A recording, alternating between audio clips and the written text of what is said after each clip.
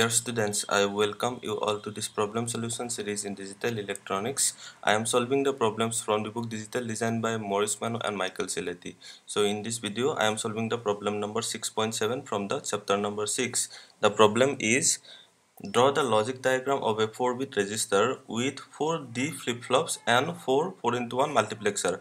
We have to use 4 number of D flip-flops and 4 number of 4 into 1 multiplexer that is 4 input 1 output multiplexer with mode selection S1 and S0. A 4 into 1 multiplexer so it has 4 inputs so we'll have two selection lines and the two selection lines are S1 and S0 as per this question. The register operates according to the following function table. That means these are the selection line combination and for that register operation will be this 4 okay so whenever we have both the selection lines 0 and 0 there will be no change.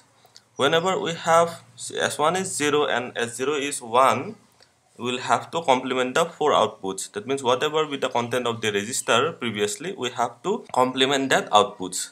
Next we have s1 is 1 and s0 is 0 then we have to clear the register. Okay clear the register to 0 means all the outputs will be 0 when S1 is 1 and S0 is 1 load parallel data. That means whatever be the data available at the four inputs of this 4 bit register that will be transferred through the register. So first of all let us draw the four D flip-flops and 4 into 1 multiplexers. So we'll have four stages. So let me draw the four multiplexers and four D flip-flops first. So suppose this one is one multiplexer. This one is second so this one is the third multiplexer. Here we have this fourth multiplexer.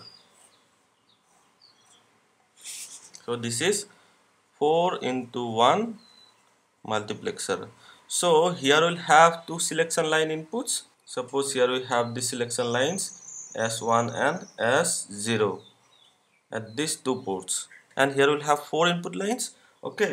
So suppose they are 0 1 2 3 so these are the four input ports and here we'll have one output ports Y. So this is a 4 into 1 multiplexer.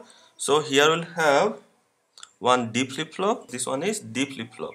D flip-flop. FF means flip-flop. Okay. So this output of this multiplexer will be connected to the D input of this D flip-flop and here we'll have Q and Q complement. That is this is the normal output and this is the complemented output so let me draw all of the D flip-flops first. So here also we'll have one D flip-flop. Okay. So D flip-flop. This is suppose 1 this is 2 okay here we have one input D. And the output of this multiplexer will be connected here. This is Y output. And here we'll have a normal output and a complemented output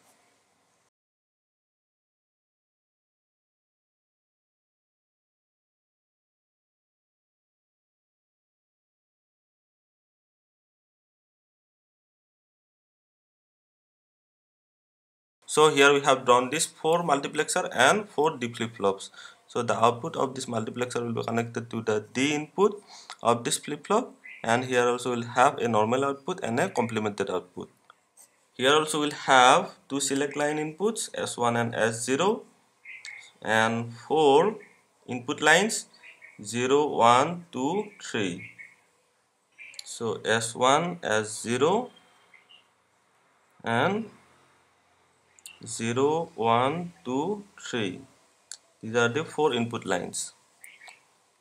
And the last fourth multiplexer also here, here will have two select lines s1 and s0 and 0 1 2 3 these are the input ports of this multiplexer.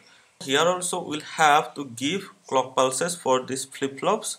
So each flip-flop will have one clock input so this is third one and this is fourth one. As per the question we have to give synchronous input of the clock pulses. Okay. So here we'll apply this clock and connect the clock pulses to this clock input.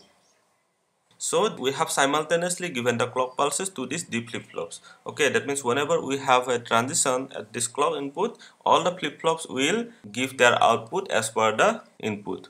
Okay here we have some common selection lines that will be S1 and S0 suppose this one is S1 and this one is S0 line. These are the selection lines. So we have to connect this S1 line to this S1 input and this S0 line to this S0 input for all of them.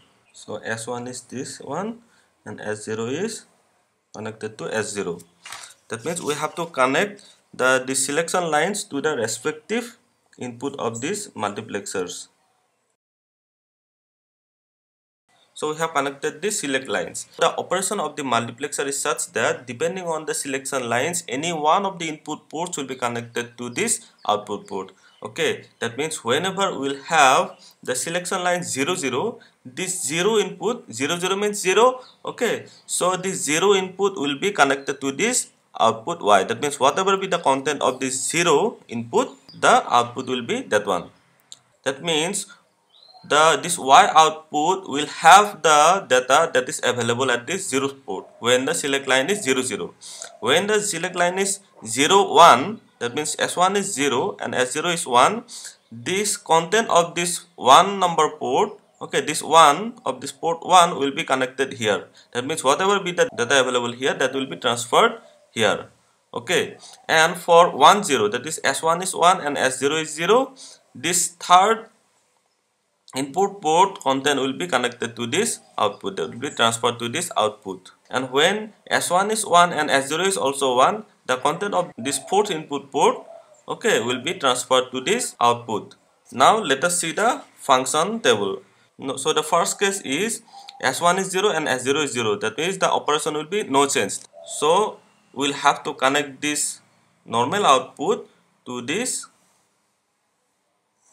0 port so whenever we have S1 is 0 and S0 is 1, that is we have to complement the four outputs. That means this complemented output will be now connected to this one input. Okay. And whenever we have 1 0, 1 0 means this S1 is 1 and S0 is 0 okay whenever we have this combination that means this third input port will be connected to this output port. And whatever the content available here that will be transferred to this output port. That means here we have to apply a 0 because we have to clear the register to 0 and for this fourth case that is s1 is 1 and s0 is 1 so we have to load the parallel data. Load the parallel data means whatever we have at the input port of this register okay that will be transferred to this output. And this is a D flip-flop and it will be exactly transferring this data available at this input port. Okay so this is a 4 bit register. So here we will apply a3 and this port will be a3 and a3 complement. So this is for the fourth stage. Okay and for the third stage this will be a2 a2 bar so this A2 will be connected here. And this A2 complement will be connected to this port number 2 that is 1 this one port. And similar to the previous case we have to apply here 0 because we have to clear the register when we have the select line is 1 and 0 okay and for the last case we have to load the parallel data. That means i2 will be here. Okay so i2 will be connected to this third port. So in this way you have to draw for the other two flip-flops and multiplexers. Okay so let me draw this quickly